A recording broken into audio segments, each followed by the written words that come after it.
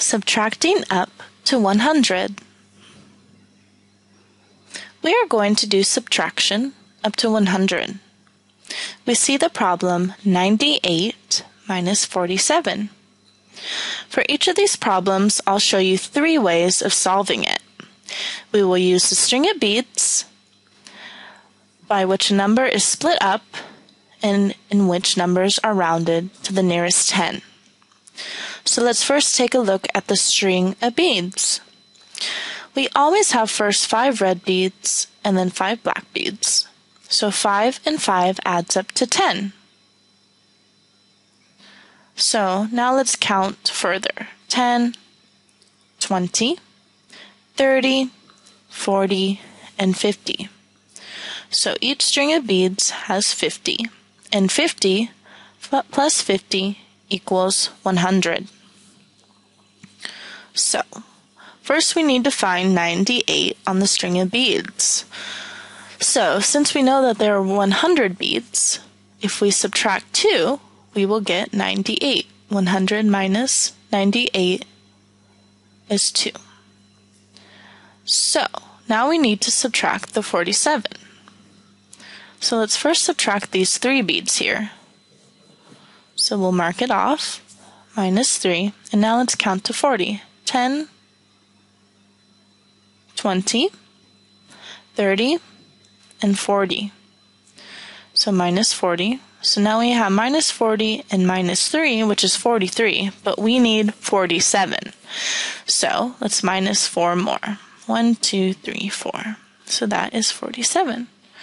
So now we know that one string of beads is 50 and plus 1, so the answer must be 51.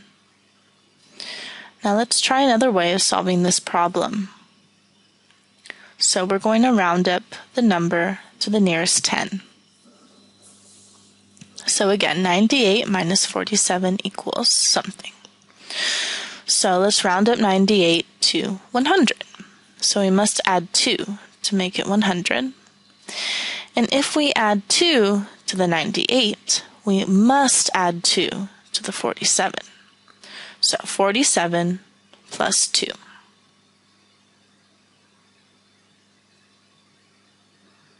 So 98 plus 2 equals 100, and 47 plus 2 equals 49.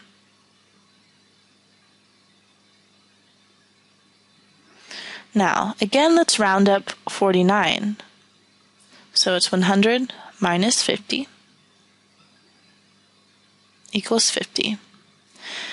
And since we didn't subtract 49 but 50, we need to add that 1 again. So 50 plus 1 equals 51, the same answer as the other one. Okay, so let's solve this problem in yet another way. Again, we will write out 98 minus 47. Now let's round 98 to the nearest 10, again, like we did on the other problem so we must plus 2. And now we're going to break up the 47 into 40 and 7. So let's just keep the 98 and then minus the 41st, which is 58, and then 58 minus the 7, remember, from the 47.